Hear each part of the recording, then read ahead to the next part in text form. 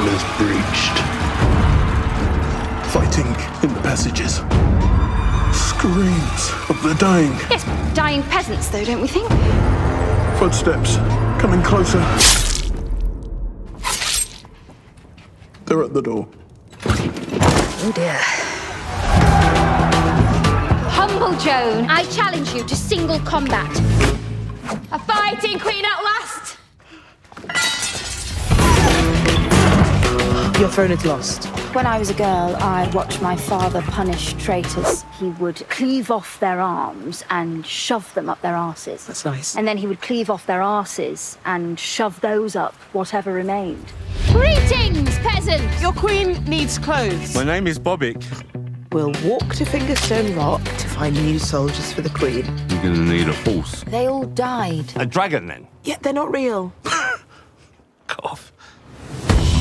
Someone's helping her. Someone clever. I was born in a bin. When we were little, we couldn't afford clothes, so we made our own out of nettles.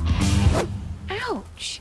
That was my first word. It's all over for Queen Dagan. Absolutely fantastic. If I were to compose a ranking list of my favourite evil tyrants, she'd never make top 20. Let's not be too hard on her. Nailed on bottom five. Bottom two, even.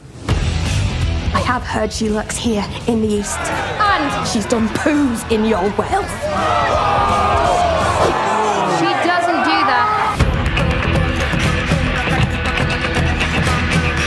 Please don't leave me. Second of safety. Second of safety.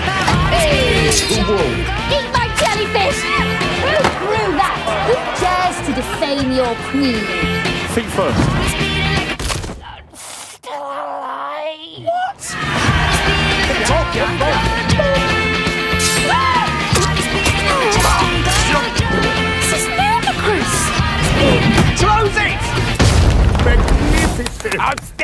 Outstanding! High form! High form!